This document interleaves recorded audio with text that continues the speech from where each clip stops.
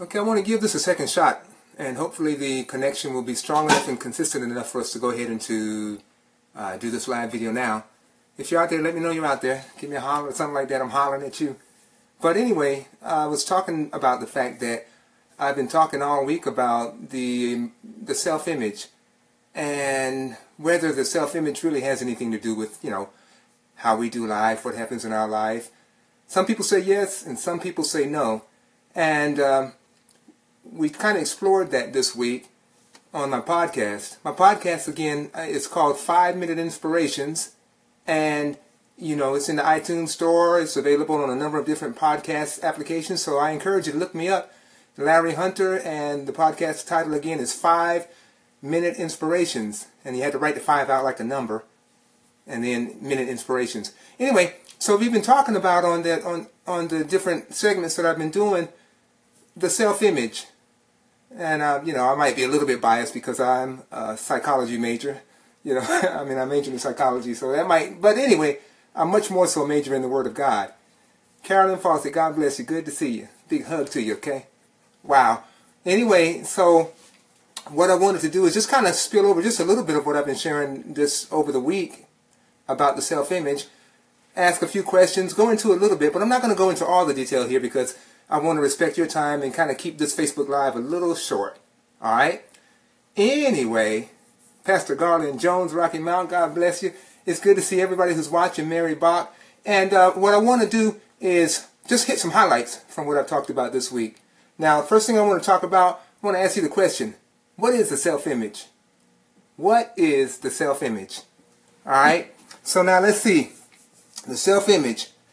The self-image is the picture that you hold of yourself on the inside of the type of person that you believe that you are. That's your self-image. How do you see yourself on the inside? Somebody's like, does that it? does it really matter? You bet your bottom dollar it matters. It's very important how you see yourself. In fact, I'm going to go further and tell you this. The way that you see yourself on the inside is crucially, critically important to whether or not you will walk in and fulfill the plan of God for your life. Now, a lot of times we hadn't thought that it was that important. It is super important, okay? Let me see. Like I said, I'm just going to hit some highlights here. Um, I want to make this statement to you. Did you know that it's not actually what is the truth about you, but rather it is what you believe to be the truth about you. That's going to be what it's, it's like that is the thing that sets the parameters for your very life. Huh? The thing that sets the parameters for your life is what you have accepted to be true about you. You know? And it'll determine what you can do and what you can't do. It'll actually determine what you have the ability to do and what you don't have the ability to do. Your self-image and what you how you see yourself. Because you're always going to live consistent with the way that you see yourself. And see, that's why, that's why personally, I don't know, I mean, just, just hear me out, okay? That's why personally, I'm very careful about how I address other people and how I address myself. You know, it's kind of cool to call each other your dog, this and that, right? But guess what? If I have the image of being a dog, if I have an image of being a dog, hey, my dog, what's up? If I have that as my image, guess what? I'm going to start acting like a dog. And you know how dogs act. You know how dogs act. They got one thing on their mind, right? See, so if if I accept that, for example, just an example, I ain't picking on nobody, okay? But if I accept being called my dog or, or dog, what's up, man? Then if I'm not careful, I'll let that thing get down within me and I'll act. I'll carry out the characteristics that that's common to dogs. Alright? Somebody say, why you had to go there? Just, I just want to make it clear to you that it's very important how you see yourself. And it's not a matter of what's actually true. It's a matter of what you are seeing on the inside. That's going to determine your effectiveness in the kingdom of God. Glory to God. Let me see. Corey, Corey Coleman, God bless you. Good to see you, man. And Marcus Garcia, Pastor Marcus over in, in the sun, sun uh, in Big Island. It's there in, uh, off the coast of Nicaragua. God bless you. Or I guess I should have said all that in Spanish. No, you understand English too. God bless you, Pastor. Anyway, okay, so let me go a little bit further. First thing we're talking about, what is the self-image? All of us have one.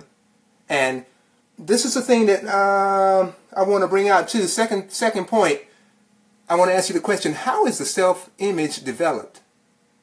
How is it actually, how does it come into being? Well, let me explain to you like this. And again, I'm just hitting highlights, and I really encourage you to check out my podcast so you can really get the, the, the whole, you know, the in and outs of what I'm talking about. All of us come to the earth, when we're born, we got a blank canvas. We don't have a clue what's going on about the world, none of that. We just, we just blank. We're just empty. It's like a canvas with no paint on it. So what happens then? Around those first few years of life, we are putting stuff on that canvas. So that canvas represents our sense of self you know, we don't have a sense of self-worth when we get here. We don't understand how the world works, none of that. But what happens is very quickly after we're born, we begin to observe, we begin to hear things, experience things, and we're painting. We're painting strokes on that image of who I am. How do I fit into this world? See, all of this happens once you get born. I mean, when you're born. And so one thing I want to point out is that, and one of the ways that we get a whole lot put on this, this canvas is the family that we're born into. See, what happens is each one of us, we are born into a certain family, a certain community, and the family has certain beliefs. There is a belief system already in place when you get here. And you kind of inherit that automatically.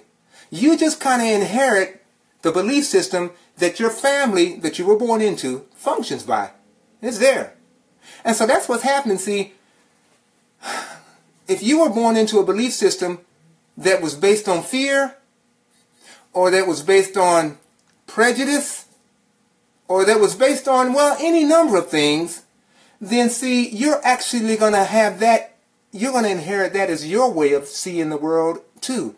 And so see, that belief system, system has a whole lot to do with how you see yourself.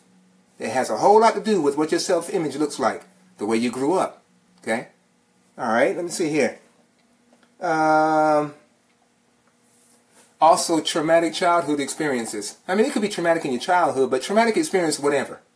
If something strong, powerful happens to you, negative, then boom, it can it can affect your self-image. And again, let's go back to what I said initially. Your self-image determines the very parameters of your life. In other words, it determines what you're able to do and what you're not able to do. That's, that's just, that's how important the self-image thing is. Remember, Exodus chapter 3, when God came on the scene, see, because what I'm, what I'm getting ready to explain to you is that your self-image will determine whether or not you are able to do the will of God. I mean, none of us are, God didn't create you and figure, what in the world am I going to do with him? Uh-uh, you are here for purpose. There is a purpose that God has in mind and you're being here. And so see, but that purpose can even be thwarted if you don't have your self-image right. Remember, God comes on the scene and says, look, I heard the cry of my children over, you know, in that Egyptian bondage. And Moses, I done sent you down here to deliver them out of that bondage. And Moses, well, who, me? Who, who, who what, what, me? And so they went back and forth and stuff, right? But God actually got mad at Moses. Why did God get mad at Moses? Because God knew what he put within Moses and he knew the plan that he wanted to fulfill through Moses, but Moses was hung up with old poor self-image. I can't talk. Nobody believe me. He had all these hang-ups, and it was affecting the very plan of God. That's how strong the self-image is. And that's why I'm excited to be talking about this. Alright? So check that out. That's in Exodus chapter 3. Glory to God. Anyway, I better get on down. I'm getting starting to get hung up. I don't promise you ain't going to take too much of your time. And here I'm getting hung up, right? Glory to God. Erica Brazil. Hallelujah. God bless you. I know people are watching that speak Spanish and I'm just regular talking English anyway. How you doing? God bless you. Hallelujah. Thank you, Lord. The whole world. God bless your hearts. All right, let me go on a little bit further though. So first thing I asked, the question I asked you was, what is a self-image? The second question I asked you is, how is the self-image developed? Now let me see here. The third question I want to ask you, can the self-image be changed? Hmm? Because remember, we're talking about the fact that whatever is on the inside of me, that's controlling what I'm able to do and what I'm not able to do. Well, what if what's inside of me is stopping me from being able to do certain things? Well, there's hope because your self-image can be changed. Now, let me show you how we go about that. Um, let me see where I want to just throw in some different things. Oh, I want to give you an example about traumatic experiences. Or let me see which one I want to give to you. Uh, let's say, for example, all right, let's go back to the children and how that your, your self-image has been formed because of experiences and stuff that you had when you're little. Let's say that you, you, you, you know, it's a young child, and the young child sees mom getting abused, both physically and verbally, by dad. Well, you know what's going to go going to go on. I mean, she didn't just see this one time. That's traumatic, no doubt about that. That's traumatic. She didn't see it just this one time, but over and over and over again, this young child, only a few years old, you know, can, you know, can walk, of course, maybe three, four, five, six years old, sees mom getting fussed at, getting hit, and all this stuff by her dad. Well, you know what's going to drop down on the inside of that little girl? Women are not very, they're not worth very much, and women are powerless. So see, in her young mind, she's putting that together, and then she says, I'm a woman. I mean, I'm a girl. I'm going to be a woman one day. So see, that drops on the inside of her self-image. And now she grows up. She's a beautiful lady. She grows up. Great job. Great career. Everything's on the up and up. But she can't figure out why she goes from one abusive relationship after the other. She can't figure that out. But we're getting some insight on that right now. It's because her self-image actually invites that type of thing. Her self-image says that I'm not worth much. Really, deep down, I'm not really worth anything, and I'm powerless, and I'm just subject to be abused by men. Hmm? Getting kind of quiet out there. no, I'm just messing with you. But I just I, I I gave that example because this is what this is where we live. The self-image is very important. So let's say you got all beat up self-image like most of us have, certainly when we come to Christ. Now how can we change that? Because I I don't know about you, in fact, I do know about many of you. I want to fulfill God's plan for my life. I want to do the will of God with my whole heart, with all of my being. I don't want to be hindered by some wrong ways of thinking about myself. See? All right, so, uh, so how can the self-image be changed? I'll tell you what I did. See, God has a truth, or the truth, about you. This is what is really true about you. I came to the word, I mean, I got born again, and I got to share this to you too also. You know, listen, listen, I don't mind sharing personal stuff with you because I want to help you. And I know, even though some people think that they're a little bit better than others, and they won't admit some of the stuff that they struggle with, I ain't like that. Because we're in the same boat. We're trying to serve the same Lord. We're trying to get there, right? So I said all of that to say I remember back in my teen years, actually I had just graduated from college and everything, that I had, I was, I walked around with an inferiority, inferiority complex big time. And particularly, I don't know, I mean everybody got their little quirks, right? Particularly I felt very small when I was around another person that was dressed up, shirt and tie. Now I went to school, successfully graduated from UNC Chapel Hill, got a degree, a Bachelor of Arts degree in psychology, but I still, I had that self-image from my upbringing that had some, it had some stuff wrong with it. You hear what I'm saying? So then, here I do, I, I go and get a job as a mail courier, you know, at a research institute. I'm delivering mail to different buildings all day long, you know. Their dress code is they had to be business casual. So I'm, I'm around people with suits and uh, on and shirts and ties on and, and just dressed up all day long. And I just struggled because, see, I didn't see myself as worthy of being even in their presence. And I'd walk around and, and the crazy thing would happen also that sometimes they say, oh, hi, how you doing today? You know, I'm dropping their mail off at the desk. And uh, I'd say something or another, but I get to stuttering. I don't stutter. I'd be like thinking while I'm stuttering, what is going on with me? I don't even stutter what's happening? I'm responding according to the image that I have on the inside of me. So, I mean, I felt inferior, I felt small, so I acted just that way. Huh? what helped me though is I, I began to read my Bible and I got serious with God. I really got into the Word of God and I began to see, I began to see myself the way God saw me. 2 Corinthians chapter 5 verse 17, Therefore if any man be in Christ, he is a new creature. Old things are passed away. Behold, all things are become new, and all things are of God, who has reconciled us to himself uh, and given to us the ministry of reconciliation. So see, I took that verse and I began to see, well, man, God don't look at me the way I look at me. I like the way I look through the Word of God better than what I done carried around on the inside of me. So I got serious and I began to see myself as a carrier of God's Word. And I be, I remember it was an instant, a change from one night, from one day of work to the next day. That next day I went to work and I'm delivering the mail and I'm going through and like I said, they all dressed up and I just got on my little jeans and stuff because we didn't have to have, have a dress code, you know, to carry the mail. But all of a sudden I picked my head up. I wouldn't wait for them to say something to me because I was hoping, you usually I would hope nobody engages me in conversation because I get to stuttering. But from the, that day before to that day, all of a sudden now I'm looking for. Hey, how you doing today? God bless you. Good to see you. You look nice. I, I like that outfit. I could do that. Why? Because the inside, the inner image changed. It changed according to the truth. And what's the truth about me? That's what God's word says. That's the very truth about me. So see, I began to see myself as, as having something that people needed.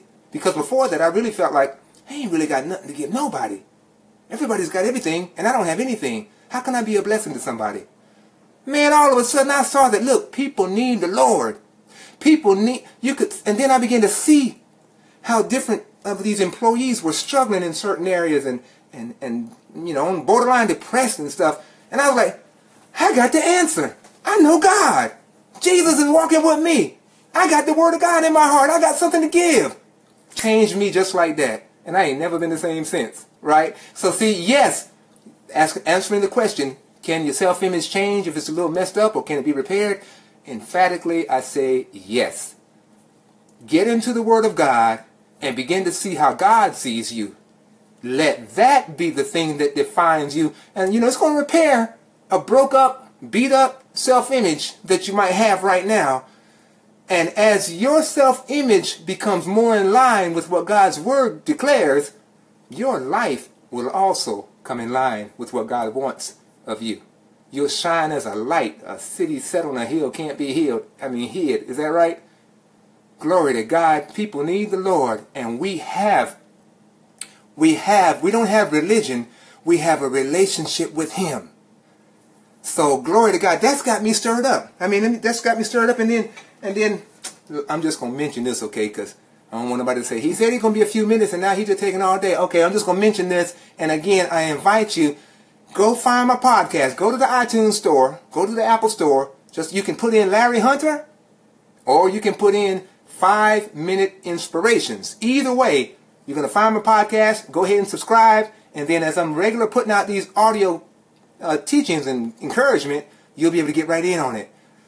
And also I have it available in Spanish. Yo quiero también invitar a todos ustedes que hablan español, favor de buscar mi podcast en, el, en la, la tienda de Apple, iTunes Store. Se llama Alentado en 5 minutos. Hay que buscar mi podcast, suscribir para poder disfrutar de las enseñanzas que yo voy a estar trayendo casi todos los días. Amén. Wow, but glory to God. Well, let me see here. I'm going to get ready to close on out. But um, what I talked about today and I'll say it again, at the very root of your effectiveness and ability to walk in the will of God for your life is your self-image. That's at the very root. If because of your past experiences and stuff like that, and it can even happen as you get older too, if because of your past experiences, then you've been damaged in the way you see yourself, then it's going to hinder you. You won't have the freedom, you won't find the ability to do what God wants you to do. So I'm encouraging you, yes, it's important, and I want to encourage you to get into the Word of God and allow the image that God has of you, which is based upon truth, to become your image. And the changes you'll see in your life, in your circumstances, in your situations will be instant. I guarantee you that. Okay? Alright, well I'm going to let you go. And uh, I appreciate you watching. And I uh, look forward to the next time that we can get together like this. And again, one more time, my podcast, look for it on the iTunes Store. Or if you have a podcast app, if you have an Android uh, phone, you can find it on different podcast uh, apps. Like, you know, if you have Podcast Republic or or Podcast Catcher, different ones. You just look for either my name, Larry Hunter, or Five Minute Inspirationz. Okay? Well, God bless you. Have a great afternoon. Love you, and I appreciate you tuning in. And you take it easy. Until next time, bye bye.